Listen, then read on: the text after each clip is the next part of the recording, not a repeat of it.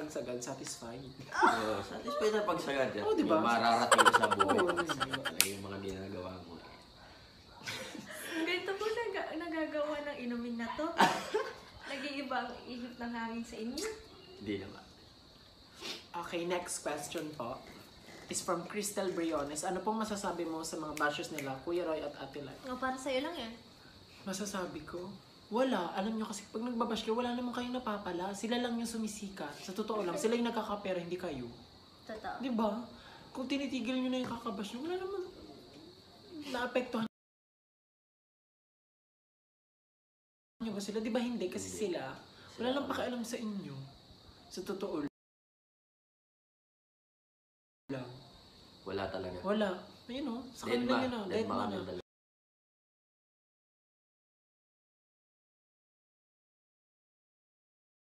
Kasi kung papakinggan pa nila yung sinasabi nyo, wala. Wala, wala mangyayari. Wala mangyayari. Kaya sa mga sa inyo, tumigil na kayo. Naiinggit lang kayo mga huda-huda kayo, char. galit na galit. So wala, hindi naman po ako galit sa inyo dahil hindi ko naman po kayo kilala lahat. Ayoko po kayo i-judge, baka sabihin judgmental po ako. Pero totoo, judgmental po ako. So ayun, tumigil na lang po kayo dahil wala mangyayari. Wala talaga mangyayari. Wala mangyayari. Yung binabash na walang pakialam sa'yo, so kayo lang din mapapagod. So you better shut up. Yun. Okay guys, so this is the end of the video. I Yeah. hope you like the video and sobrang saya ko dahil nandito sila sa aking special birthday. Ba't pa ito Happy nagtatakip? birthday! Sobrang saya ko po dahil nandito po sila sa aking birthday. And masaya din sila dahil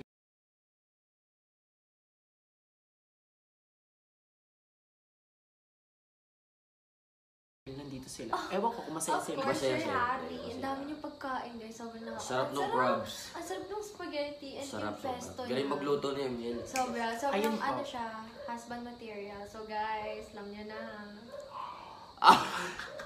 Ghost.